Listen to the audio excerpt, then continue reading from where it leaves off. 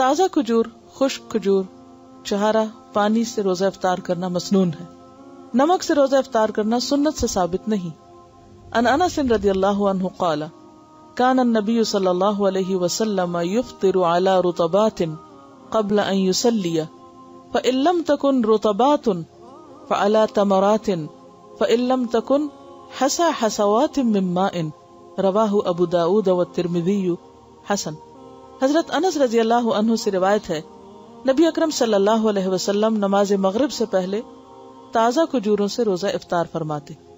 اگر تازہ کھجوریں نہ ہوتی تو خشک کھجوروں سے، جن کو چوہارے کہتے۔ اگر خشک کھجوریں نہ ہوتی تو چند گھونٹ پانی سے ہی افطار فرما لیتے۔ اسے ابو داود اور ترمزی نے روایت کیا ہے۔ کھجور میں چونکہ انرجی بھی ہوتی ہے، وہ ایک طرح سے کھانے کی جگہ ہوتی ہے اور اس کے بعد نماز پڑھنا آسان ہو جاتا ہے، فوری طور پر انرجی بحال ہو جاتی ہے۔ اور یہی افیکٹ جو ہے وہ پانی کا ہوتا ہے۔ روزہ افطار کرتے وقت درج ذیل دعا مانگنا مسنون ہے۔ ان ابن عمر رضی اللہ عنہما قال كان النبي صلى الله عليه وسلم اذا افطر قال، ذهب الظمأ وابتلت العروق وثبت الاجر ان شاء الله رواہ ابو داود۔ حضرت عبداللہ بن عمر رضی اللہ عنہ سے روایت ہے کہ نبی اکرم صلی اللہ علیہ وسلم جب روزہ افطار فرماتے تو یہ دعا پڑھتے۔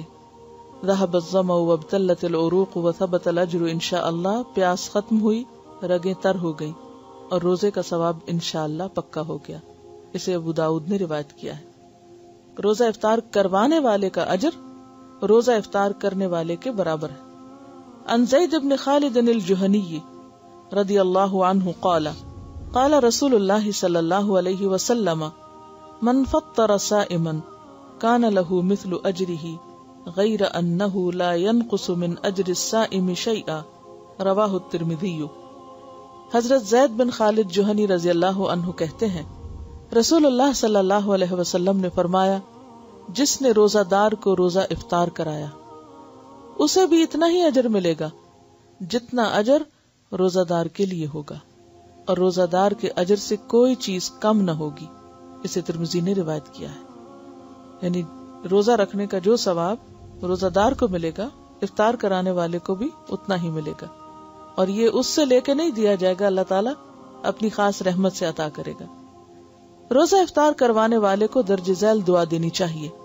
ان انس رضی اللہ عنہ قال، کان رسول اللہ صلی اللہ علیہ وسلم اذا افطر عند قوم، قال، افطر عندكم الصائمون واكل طعامكم الابرار۔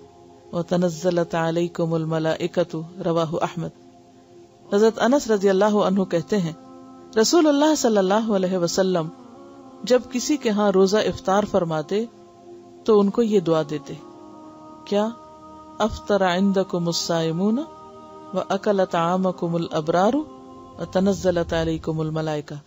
اس کا ترجمہ ہے، روزہ دار تمہارے ہاں روزہ افطار کرتے رہے یعنی آئندہ بھی تمہیں یہ موقع ملتا رہے۔ نیک لوگ تمہارا کھانا کھاتے رہیں اور فرشتے تمہارے ہاں نازل ہوتے رہیں یعنی رحمت لے کر۔ کسی بھی جگہ فرشتوں کا نازل ہونا باعث رحمت ہے۔ اللہ یہ کہ کوئی مجرم قوم ہو۔ اسے احمد نے روایت کیا ہے۔ اس کا یہ مطلب نہیں کہ باری باری افطاریاں ہی کرائی جائیں تو تب یہ ثواب ہو سکتا ہے۔ آپ ایک کھجور سے ایک گھونٹ پانی سے بھی کسی کا روزہ کھلوا دیتے ہیں تو اس سے بھی یہ ثواب